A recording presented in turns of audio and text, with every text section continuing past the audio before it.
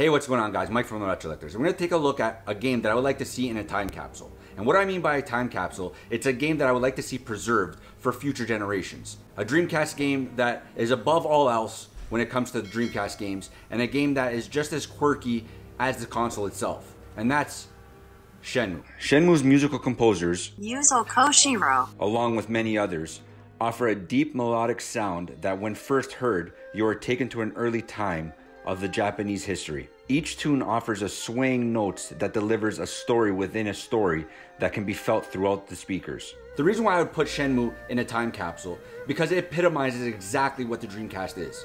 It was fun, it was quirky, it had arcade bits built into the game, and just like the Dreamcast, it had a huge offering of arcade greatness.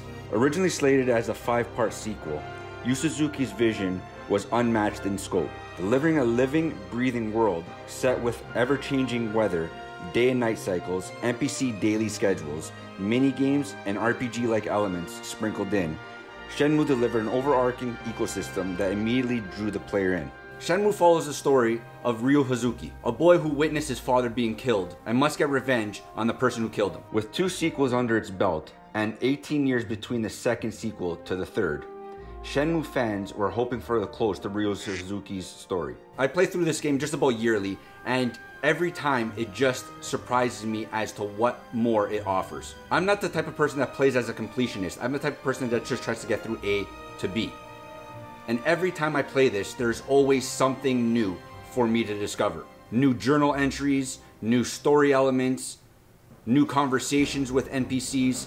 It, the list goes on and on. Is Shenmue rougher around the edges? Sure. But when you compare it to a game that was released, any game of that time is rough around the edges. Shenmue's gameplay isn't one that is action oriented. It instead mixes gameplay with various styles. From RPG elements that allow the player to find and level up attacks, to driving sequences that, albeit small, allow you to better the money you earn at your daily job.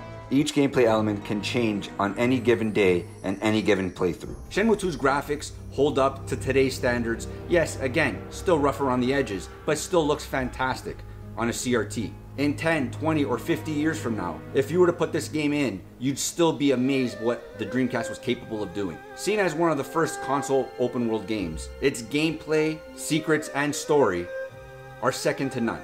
So if I were to open this up and show my kids' kids what the Dreamcast was, this is the game I let them play. Let me know which game you would put in the time capsule. Please put it in the comments down below. Please like, comment, subscribe. If you enjoyed this video, check out all my other videos. Thanks, guys.